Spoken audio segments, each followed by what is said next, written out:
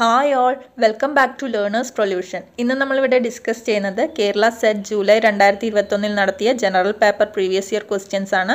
അതിന്റെ part one video ആണിത്. ഇതിനു മുന്നേ നമ്മൾ ജൂലൈ രണ്ടായിരത്തി ഇരുപത്തിരണ്ടിലെയും ജാനുവരി രണ്ടായിരത്തി ഇരുപത്തിരണ്ടിലെയും general paper previous year questions discuss ചെയ്തിട്ടുണ്ട്.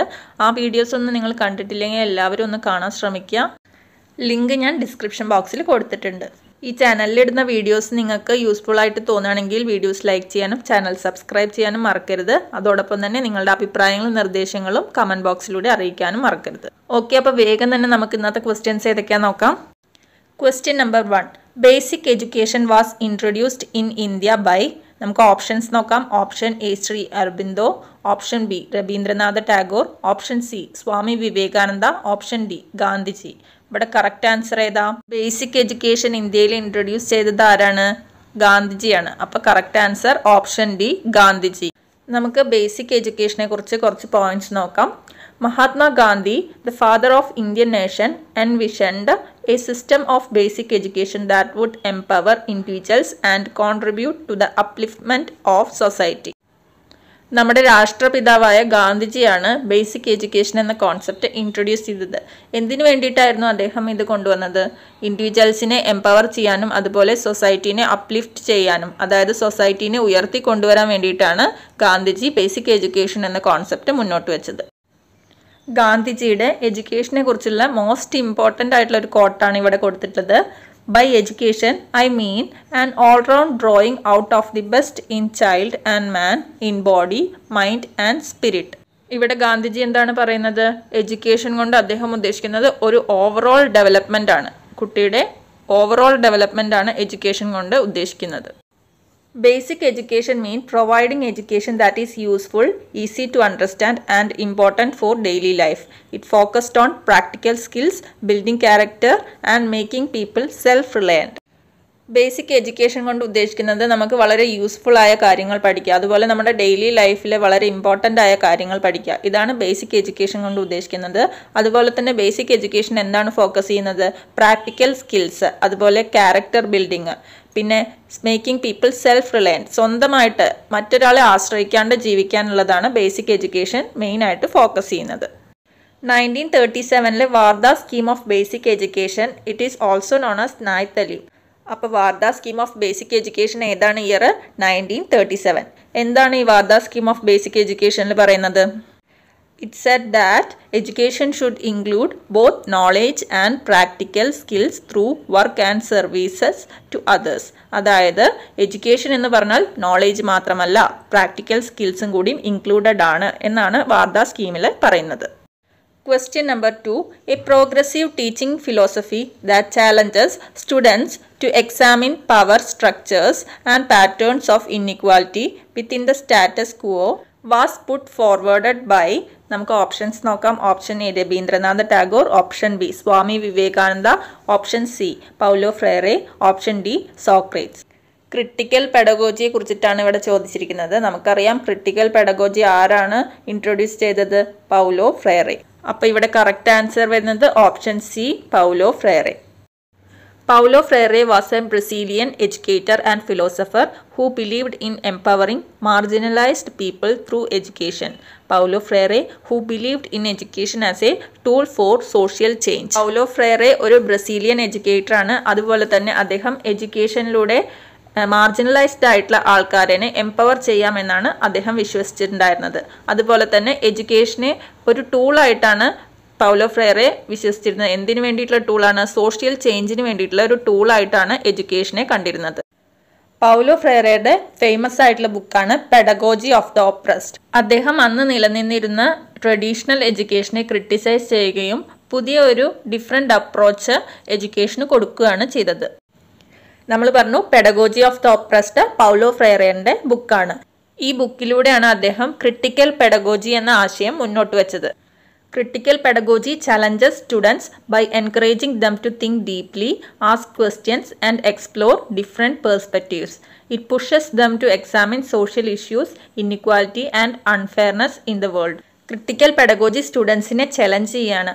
എങ്ങനെയാണ് ഡീപ്പായിട്ട് തിങ്ക് ചെയ്യാനും അതുപോലെ വ്യത്യസ്തമായ ക്വസ്റ്റ്യൻസ് ചോദിക്കാനും അതുപോലെ വ്യത്യസ്തമായ പേഴ്സ്പെക്റ്റീവ്സിൽ എക്സ്പ്ലോർ ചെയ്യാനും വേണ്ടിയിട്ട് ക്രിട്ടിക്കൽ പെഡഗോജി സ്റ്റുഡൻസിനെ ചലഞ്ച് ചെയ്യുന്നു. അതുപോലെ തന്നെ നമുക്ക് ചുറ്റും നടക്കുന്ന സോഷ്യൽ ഇഷ്യൂസ് ഇന്നിക്വാലിറ്റീസ് ഇതെല്ലാം എക്സാമിൻ ചെയ്യുകയും അതുപോലെ തന്നെ നമ്മുടെ സമൂഹത്തിൽ പോസിറ്റീവായിട്ടുള്ള ചേഞ്ചസ് ഉണ്ടാക്കാൻ സ്റ്റുഡൻസിനെ എംപവർ ചെയ്യുക എന്നതാണ് ക്രിട്ടിക്കൽ പെഡഗോജി കൊണ്ട് ഉദ്ദേശിക്കുന്നത് instead of just accepting what they are taught critical pedagogy encourages students to think critically speak up and work towards a fairer and more just society it inspires them to be curious reflective and engaged learners. ഇവിടെ എന്താ പറയുന്നത്? ഒരു കാര്യം നമ്മൾ ഒരാൾ പഠിപ്പിച്ചു കഴിഞ്ഞ് കഴിഞ്ഞാൽ അത് ശരിയാണെങ്കിലും തെറ്റാണെങ്കിലും അത് ജസ്റ്റ് ആക്സെപ്റ്റ് ചെയ്തിരിക്കുകയല്ല വേണ്ടത്. അത് ശരിയാണോ തെറ്റാണോ എന്ന് നമ്മൾ തിങ്ക് ചെയ്യണം.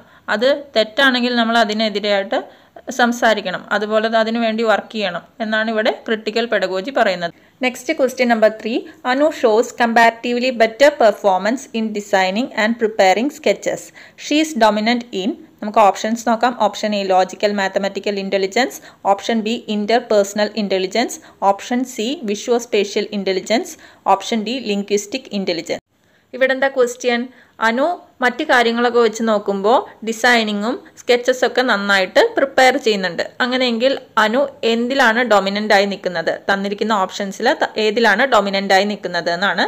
അപ്പോൾ ഇവിടെ കറക്റ്റ് ആൻസർ വരുന്നത് option C visuo spatial intelligence multiple intelligence theory base ചെയ്തിട്ടുള്ള ഒരു ക്വസ്റ്റ്യൻ ആണ്. അപ്പോൾ നമുക്ക് മൾട്ടിപ്പിൾ ഇന്റലിജൻസ് തിയറിയിലത്തെ കുറച്ച് പോയിന്റ്സ് നോക്കാം.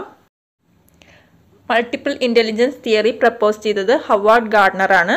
അദ്ദേഹത്തിന്റെ നയന്റീൻ എയ്റ്റി ത്രീയിൽ ഇറങ്ങിയ frames of mind the theory of multiple intelligence എന്ന ബുക്കിലാണ് മൾട്ടിപ്പിൾ ഇന്റലിജൻസ് തിയറി പറഞ്ഞത്. അന്ന് അദ്ദേഹം സെവൻ ഇന്റലിജൻസസ് ആണ് കൊണ്ടുവന്നിട്ടുണ്ടായിരുന്നത്. പിന്നീട് nineteen ninety നയനിൽ intelligence reframed multiple intelligence for twenty first century എന്ന ബുക്കിലൂടെയാണ് രണ്ട് ഇന്റലിജൻസ് കൂടി ആഡ് ചെയ്തത്.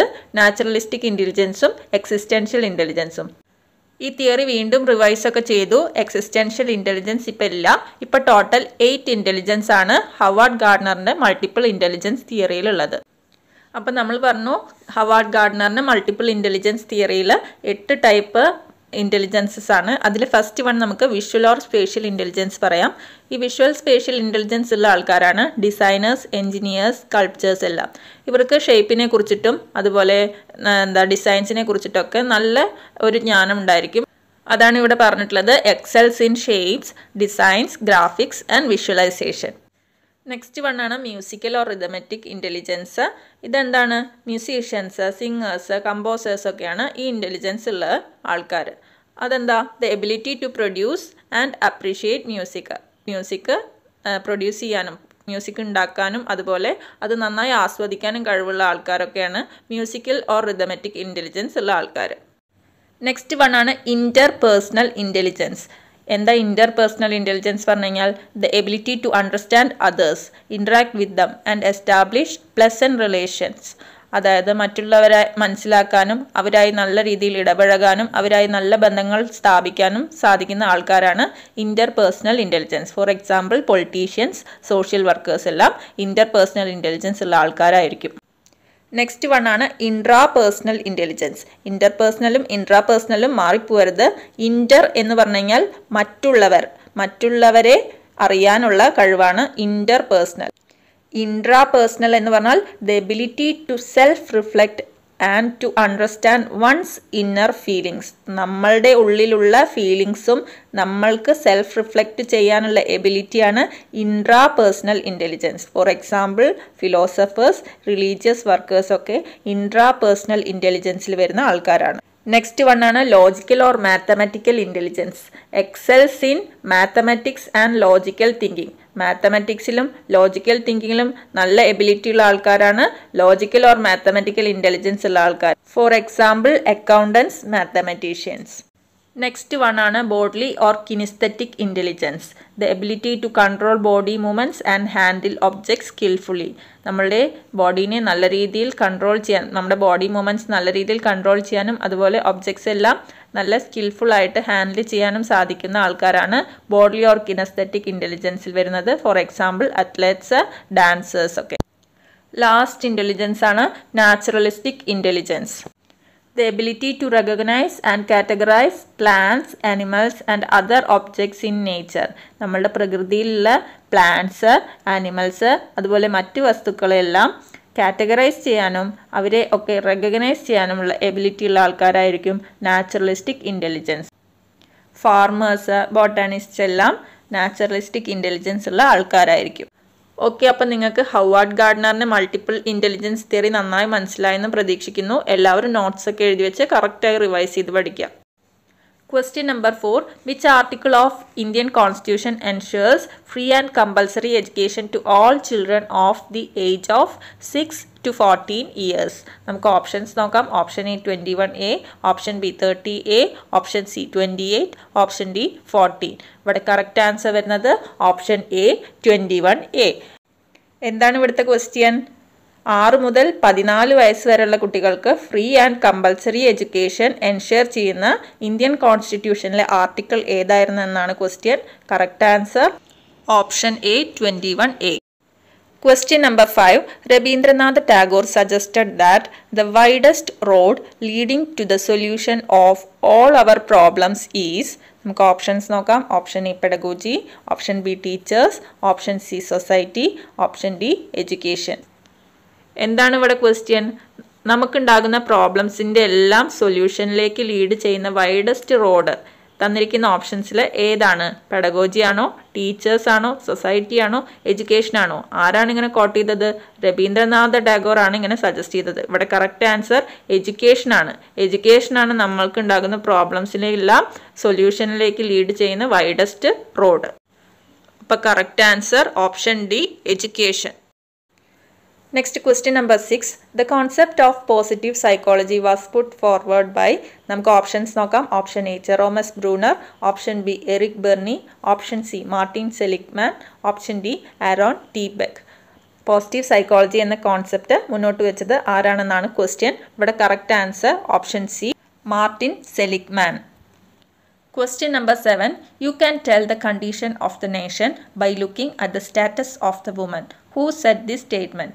നമുക്ക് ഓപ്ഷൻസ് നോക്കാം. Option A Jawaharlal Nehru option B Gandhiji option C Swami Vivekananda option D Rabindranath Tagore ഇവിടെ ഒരു സ്റ്റേറ്റ്മെന്റ് തന്നിരിക്കുകയാണ്. എന്താണ് ആ സ്റ്റേറ്റ്മെന്റ് നമ്മളുടെ രാജ്യത്തെ സ്ത്രീകളുടെ സ്റ്റാറ്റസ് നോക്കിക്കഴിഞ്ഞാൽ നമുക്ക് ആ രാജ്യത്തെ കണ്ടീഷൻ എന്താണെന്ന് പറയാൻ സാധിക്കും. ഇതാണ് സ്റ്റേറ്റ്മെന്റ് ഈ സ്റ്റേറ്റ്മെന്റ് പറഞ്ഞത് ആരാണെന്നാണ് ക്വസ്റ്റ്യൻ ജവഹർലാൽ നെഹ്റു ആണോ? ഗാന്ധിജി ആണോ? സ്വാമി വിവേകാനന്ദനാണോ?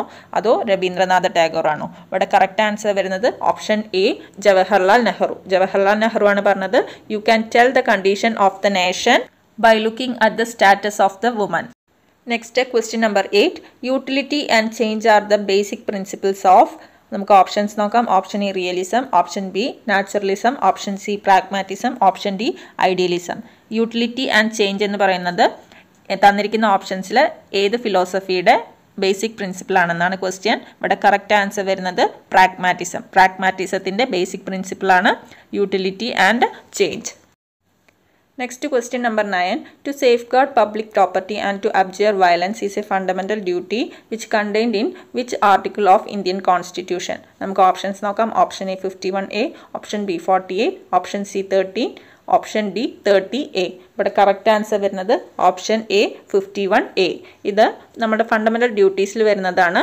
fifty one A fifty one എയിൽ എന്താണ് പറയുന്നത്? നമ്മളുടെ പബ്ലിക് പ്രോപ്പർട്ടി എല്ലാം ടേക്ക് കെയർ ചെയ്യണം. അതുപോലെ തന്നെ വയലൻസ് എല്ലാം റിജക്റ്റ് ചെയ്യണം അല്ലെങ്കിൽ അവോയ്ഡ് ചെയ്യണം എന്ന് പറയുന്ന ഫണ്ടമെന്റൽ ഡ്യൂട്ടി ഏതാണ് fifty one A next question number ten triarchic theory of intelligence was put forward by നമുക്ക് ഓപ്ഷൻസ് നോക്കാം. Option A Charles Spearman option B E L Thorndike option C Howard Gardner option D Robert Sternberg triarchic theory of intelligence ആരുടെയാണെന്നാണ് question ഇവിടെ correct answer option D Robert Sternberg നമുക്ക് മറ്റ് options എല്ലാം നോക്കാം.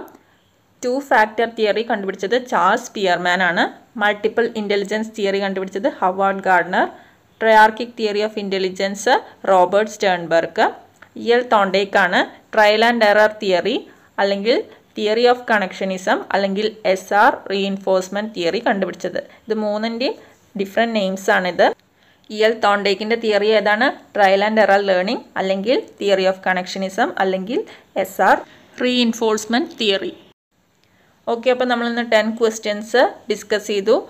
എല്ലാവരും നന്നായിട്ട് revise ചെയ്ത് പഠിക്കുക. നല്ല പോലെ കോൺഫിഡന്റ് ആയിട്ട് സെറ്റ് എക്സാമിന് വേണ്ടി പ്രിപ്പയർ ചെയ്യാം. ഡെയിലി കുറച്ച് പോർഷൻസ് വെച്ച് പഠിച്ചു പോവുക. അതുപോലെ പ്രീവിയസ് ഇയർ ക്വസ്റ്റ്യൻസ് ചെയ്ത് നോക്കുക. അപ്പം എന്തായാലും നിങ്ങൾക്ക് തീർച്ചയായിട്ടും സെറ്റ് എക്സാം ക്രാക്ക് ചെയ്യാൻ സാധിക്കും. ഓക്കെ അപ്പോൾ ഇന്നത്തെ വീഡിയോ ഇത്രയേ ഉള്ളൂ. നിങ്ങൾക്ക് വീഡിയോ യൂസ്ഫുൾ ആയിട്ട് തോന്നുകയാണെങ്കിൽ വീഡിയോസ് ലൈക്ക് ചെയ്യാനും ചാനൽ സബ്സ്ക്രൈബ് ചെയ്യാനും മറക്കരുത്. അതോടൊപ്പം തന്നെ നിങ്ങളുടെ അഭിപ്രായങ്ങൾ കമന്റ് ബോക്സിലൂടെ അറിയിക്കാനും മറക്കരുത്. ഓക്കെ അപ്പോൾ അടുത്ത വീഡിയോയിൽ കാണുന്നത് വരെ എല്ലാവർക്കും ബൈ താങ്ക്